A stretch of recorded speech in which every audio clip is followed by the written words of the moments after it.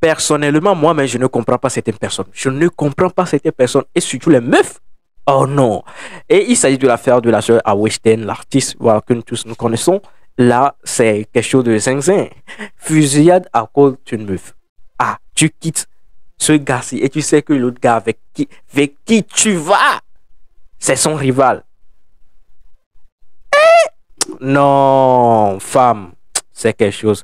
Les gars, moi, je vais pas trop parler. Je vais vous laisser avec les vidéos qui vont vous expliquer tout ce qui s'est passé en détail. N'hésitez pas à laisser like, à partager. C'est votre cas SLM sur la chaîne de SLM Pro TV. On se dit, let's go. Au début, j'ai cru que c'était un canular. Hein. Moi, au début, j'ai cru que c'était une blague, c'était une fake news, je sais pas quoi. Jaha, Jaha, c'est vrai. En fait, non, en fait, il faut que je vous montre l'article. En gros, la sœur à Weshden, elle sortait avec un mec. Apparemment, ça s'est fini mal, etc. Et puis, elle est sortie avec un mec qui était son rival. Roméo et Juliette sur nous, bref. Du coup, ils devaient se rencontrer pour discuter. Discuter de quoi? Mais ah là là, comme... Faites votre sexe, en fait. Vous voyez des hommes, vous êtes là, vous allez vous poser, discuter d'une meuf, que toi, t'es sorti avec elle, moi, je sors avec elle. Pour faire quoi?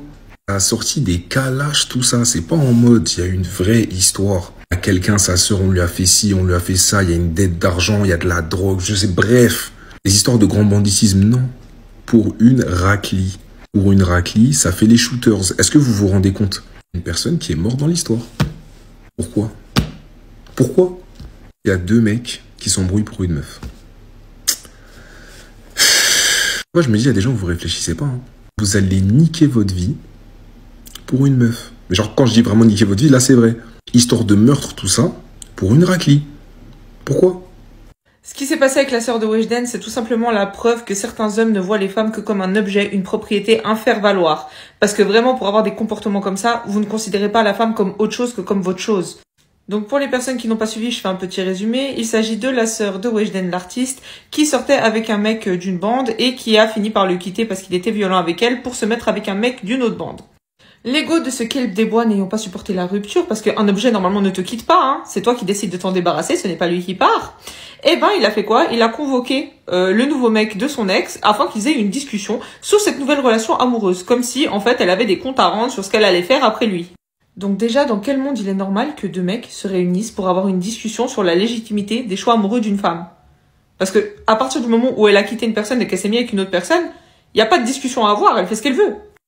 Et bien entendu, comme si la situation n'était pas assez lunaire, il a fallu que ça se termine en feu d'artifice. Et je dis feu d'artifice parce que malheureusement, on ne peut pas dire les termes.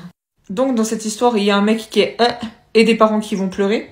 Tout ça parce qu'un mec a eu trop d'ego pour accepter que sa meuf l'ait quitté.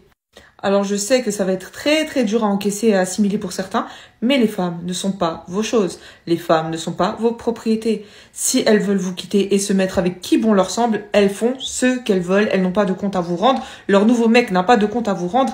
Elles font ce qu'elles veulent comme des êtres humains à part entière.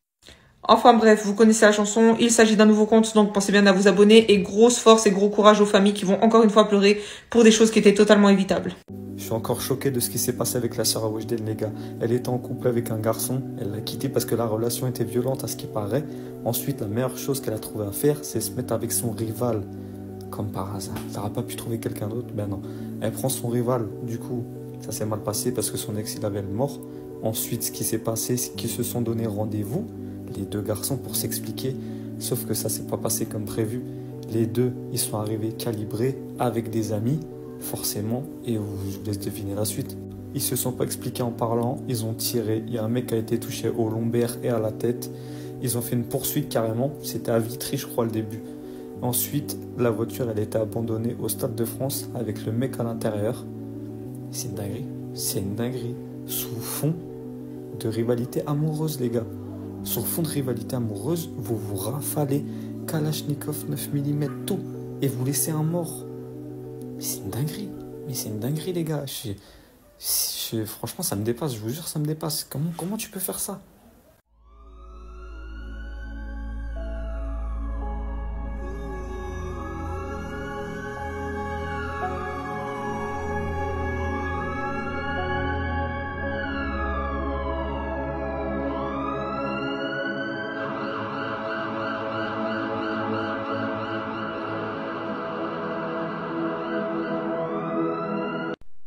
C'est la fin de la vidéo. J'espère que vous avez kiffé. Si vous avez kiffé, n'hésitez pas à laisser le like, à regarder une de mes vidéos, à laisser les commentaires sur cette affaire. Puisque c'est une dinguerie. Dinguerie, quoi.